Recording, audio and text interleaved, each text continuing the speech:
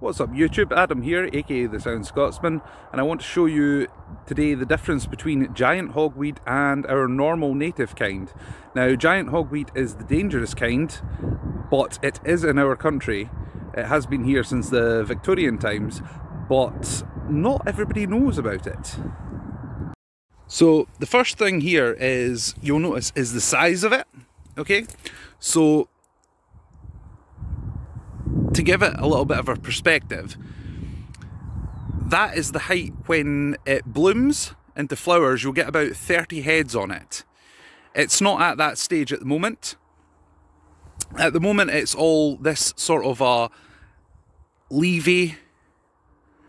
And notice how the leaves are a little bit jagged. So this is the kind that you do want to be staying away from because if you get the sap on you, you get the sap in your eyes, you'll probably go blind. If you get it on your skin, it is phototoxic, which means it burns your skin in the sun when you get the sap and causes really, really nasty blisters. So that's what the stuff looks like. I'll show you what the common kind looks like. So this is the native kind, nowhere near as dangerous as the giant stuff.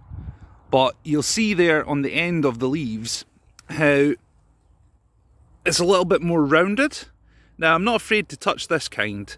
You wouldn't really particularly want to touch it on a hot day, but it's nowhere near as phototoxic as the giant stuff.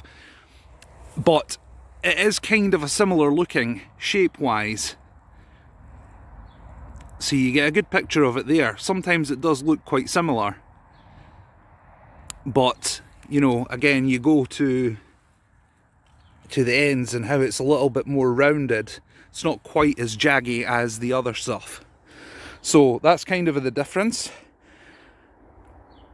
So that was that was the common stuff. This is the the giant kind again.